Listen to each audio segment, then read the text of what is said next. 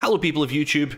It's Deephack here, and welcome to DCS World 2.7.9 and Eagle Dynamics FA18C Hornet module. Welcome to tutorial 4 Air to Air Radar WVR modes. So, uh, WVR within visual range. This is uh, basically a follow on to my previous tutorial on the BVR modes. Uh, these are uh, modes in the Hornet which are called ACM, which is Air Combat Maneuvering Radar modes. They're designed to be used once you're in with uh, once you are within visual range uh, with your opponent, and they are designed to be highly automatic. So the idea being that you can very quickly enter these modes once you've merged or you're in a dogfight. The radar will automatically lock targets for you based on certain criteria, and you can very quickly employ your weapons. Uh, the Hornet has four of these ACM modes. There is GACQ, which is gun acquisition mode, only usable with the cannon. Uh, BST, which is bore sight mode, very similar to the mode found in the F 16. VACQ, which is vertical acquisition mode, um, very similar again to a mode that you'll find in the F16, and WACQ, which is the wide acquisition mode. This is sort of a HUD scan, really, although it's a bit bigger than the HUD. Um, and it has the option to slew it as well, so you can use it in some interesting ways, which is pretty cool. Um, WACQ actually gets around one of the problems that traditional HUD scan uh, automatic lock modes have, in that you can slew it up and down, and so you actually have the ability to utilize it against targets who are not at the same altitude as you, which is pretty damn cool. So I'm going to go through each of these in turn and demonstrate how they are used. Um, the initial thing that I'll show actually is just how to get the aircraft set up for this. So without any further ado, let's jump into the office, let's uh, bring the aircraft out to pause, I've got a bunch of targets out in front of me, as we've had in the past uh, in the radar missions. And as I demonstrated before, the absolute quickest and easiest way to get set up and ready to use your uh, aircraft in air-to-air -air mode is using the weapon select switch. So I can push my weapon select switch forward and I get gun. I can push it aft and I get the AIM-9X. I can push it left and I would get the Sparrow if I had any loaded. I don't. I'd push it right and I get the AMRAAM. Uh, we're going to go aft and take the Sidewinder for today. Uh, I'm going to make sure that my helmet mounted display is off for this demonstration because some of these ACM modes operate slightly differently when you have the helmet mounted sight enabled and we don't want to cover that today. So while you're in air-to-air -air mode, if you push sensor select switch forward, the aircraft will immediately go into ACM mode. So let me actually break that lock and I'm going to pause for just a moment. The aircraft will immediately go into ACM modes. We can tell that because on the radar display, ACM is boxed, and we have the option to return to scan, uh, as we'd normally have when we're in STT. So once you've pushed sensor select switch forward, you're in ACM mode, and then all of the other sensor select uh, switch directions now change the ACM mode. To exit ACM mode, you can either click return to scan or you can press nose wheel steering. Uh, and that will return you back to a normal range while scan mode, and the sensor select switch will operate normally. So the sensor select switch effectively has two modes. It has the normal mode and it has ACM mode.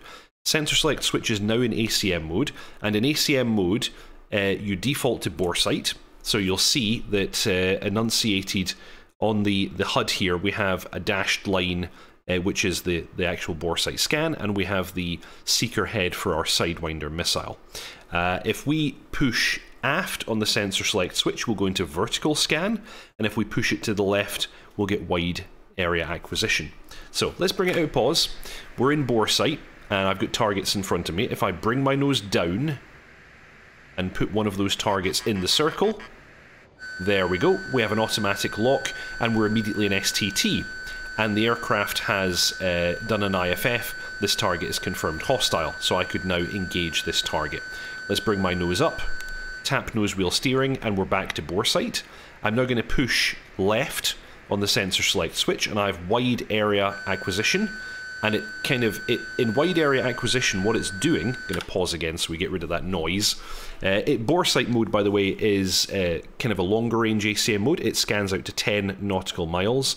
Uh, wide area acquisition also scans out to 10 nautical miles uh, at maximum. And uh, by default, wide area acquisition is uh, scanning an area 60 degrees in azimuth, uh, minus 9 to plus 6 in pitch. So it is this kind of box. Uh, let me show you another little trick that we've got with that mode. I'm actually going to bring us off to the right. I'm going to break that lock. And I'm going to make sure that we're back in wide area acquisition again. There we go. So, you'll notice wide area acquisition is enunciated here. Oh, actually, we just got a lock just as I hit the pause. Let's uh, let's break that again and go back into wide area acquisition. Note that when you're in uh, ACM modes, if you hit the nose wheel steering to unlock, it immediately brings you out of ACM, so you then need to push sensor select switch forward again. We have this box. This is this is a representation of the scan volume. Note that it is stabilized in roll. I think it's stabilized in pitch as well. Yeah, stabilized in pitch as well. So you, you'll you'll see that that representation moves around. If I push in my TDC, I then get some new symbology. This is the slewed wide area acquisition. So we now have check marks in the pitch area, and we can also push the box to the left and right. These pitch marks uh, denote elevation difference. So the first check mark here on, on the pitch bar uh, denotes 15,000 feet below. Next one is 30,000 feet below. You also have the ability to scan 15,000 feet above, 30,000 feet above. Uh, and if I uh, come out of pause again and I start moving the TDC, you'll see that we can actually move this box significantly above and below that. It is a uh, it is a 60, uh, 60 degrees azimuth and then quite a few degrees up and down. So what I'm going to do, I know these targets are off to my left. I'm going to slew my box as far left as I can. It's still stabilized in roll, and I'm going to slowly roll myself left. And this means that I'm kind of looking ahead into my turn and I should actually pick them up quicker than I would otherwise. You can also see confirmed on the radar display the scan was bouncing around on the left. And there we go. I actually I picked up that lock right on the edge of uh, the scan. Gonna hit nose wheel steering and break that scan again. Sensor select switch forward. I'm in bore sight. And I'm going to push left to go back into wide area acquisition. Actually, I'm going to go aft and I'm in vertical. Now this is perfect for when you're in the turning fight. Uh, the vertical one, it's only scanning 16 degrees width, or 16 degrees azimuth, but it's scanning down to negative 13 degrees and up to positive 46. So, I'm in a turning fight. I roll myself over and I pull back. I should be looking quite far ahead into the turn, and I should get a lock nice and early. Let's see if I can actually pick these guys up. Now, the problem is the vertical acquisition mode is only operating out to 5 nautical miles. Let me see, where are these guys just now? They're kind of north of me just now. That's cool. Going to roll over and start coming around. It may be the case that they're outside of the, the 5 mile scan, so I maybe won't actually auto-lock them here. Oh, I got Bap Bap, so they must be somewhere out here. Let's uh, let's pop it back into wide area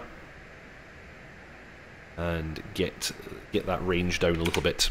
Yeah, I think they've decided to run. I've scared them. That's fair enough. Let's get closer and then I'll demonstrate the wide area acquisition. There he is. There's one just inside 10 miles, so just inside the maximum range. And they are actually running. I've definitely spooked them now. Um, now, there is a final mode that we have. I'm going to come out of the ACM modes entirely. And this mode is automatically engaged whenever you select the gun. So if I push sensor select switch forward, I'm in gun, and you can see it confirms gun here, and I'm in ACM. Gun mode is a special mode. It automatically scans out to 5 nautical miles within this dotted circle, so really it's a HUD scan, uh, and this mode is only usable with the gun. So you can see I now have visual on these targets, I'm going to continue inbound, and once I'm within 5 nautical miles I should pick up the lock. Uh, and those are all of the modes, and that is everything you can do with them. All of these modes are designed to achieve an STT and to immediately do an IFF query, so pretty useful in the dogfight.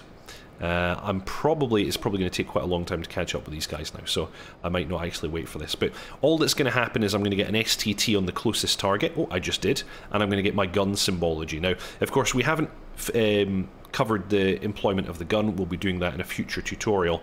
But I am now in a position to immediately engage this target with the gun. If I hit nose wheel steering, it drops the lock, but it puts me back into gun mode. The only way to get out of this mode and actually employ a different weapon is to push the weapon select key in a different direction. So if I push it forward again and come back into gun, I'm there, I get an automatic lock, I'm in gun acquisition, and I'm ready to engage this target with guns.